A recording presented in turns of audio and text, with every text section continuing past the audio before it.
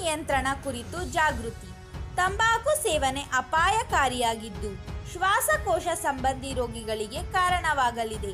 ಅಪಾಯಗಳ ಕುರಿತು ಜನಜಾಗೃತಿ ಮೂಡಿಸಬೇಕಿದೆ ಎಂದು ಆರೋಗ್ಯಾಧಿಕಾರಿ ಡಾಕ್ಟರ್ ನರಸಿಂಹಮೂರ್ತಿ ತಿಳಿಸಿದರು.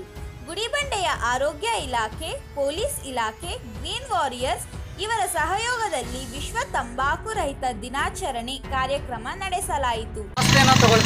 ಸಿಗರೇಟ್ ನಾನೇ ಸೇದಬೇಕಾಗಿಲ್ಲ ನಾನು ಸಾಯಕ್ಕೆ. ಪಕ್ಕದಲ್ಲಿರೋರು ಸೇದಿದ್ರು ಸಾಕು, ಅದ್ರ ವಾಸ್ತೆ ನಾನು ತಗೊಂಡ್ರು ನಾನು ಸಾಯ್ತೀನಿ. ಸೊ ಆ ಸಾವಿನ ಲೆಕ್ಕದೊಳಗಡೆ ಈ ಎಂಬತ್ತು ಲಕ್ಷ ಜನದೊಳಗಡೆ ಈ ಇಪ್ಪತ್ತು ಲಕ್ಷ ಜನ ಏನೂ ತಪ್ಪು ಮಾಡದೆ ಹೋದ್ರು ಸಾಯ್ತಾ ಇದ್ದಾರೆ ತಂಬಾಕು ಸೇವನೆಯಿಂದ.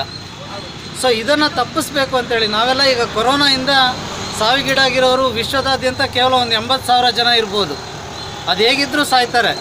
ಕೊರೋನಾಯಿಂದನೇ ಸಾಯ್ಬೇಕಂತ ಹೇಳಿಲ್ಲ ಆದರೆ ನೀವು ಲೆಕ್ಕ ಹಾಕ್ಕೊಳ್ಳಿ, ಕೊರೋನಾ ಇಷ್ಟೆಲ್ಲ ಬಾಧಿತ ಆಗಿದೆ. ಅರವತ್ತು ದಿನಕ್ಕಿಂತ ಮೇಲ್ಪಟ್ಟು ನಾವು ಲಾಕ್ಡೌನನ್ನು ಅನುಸರಿಸಿದ್ದೀವಿ. ಎಂಬತ್ತು ಸಾವಿರ ಜನ.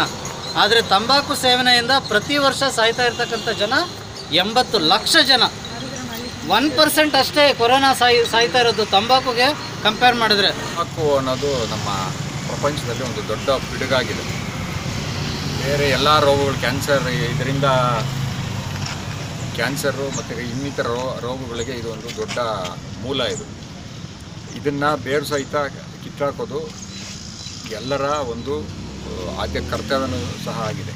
ಇದನ್ನು ಕೆಲವು ತಂಬಾಕು ಸೇವನೆ ಮಾಡೋರು ಅಲ್ಲದೆ, ಅವರ ಜೊತೆಯಲ್ಲಿ ಇಲ್ಲಿ ಧೂಮಪಾನ ಮಾ, ತಂಬಾಕಿನ ಧೂಮಪಾನ ಅದನ್ನು ಮಾಡ್ತಕ್ಕಂಥವ್ರು, ಅವ್ರಿಗೆ ಅಲ್ಲದೆ ಅವರ ಜೊತೆಯಲ್ಲಿರೋ ಕಾಯಿಸಲು ಸ್ಮೋಕರ್ಸ್ ಅಂತ ಏನು ಕರಿತೀವಿ, ಅವ್ರಿಗೂ ಎಫೆಕ್ಟ್ ಆಗ್ತದೆ.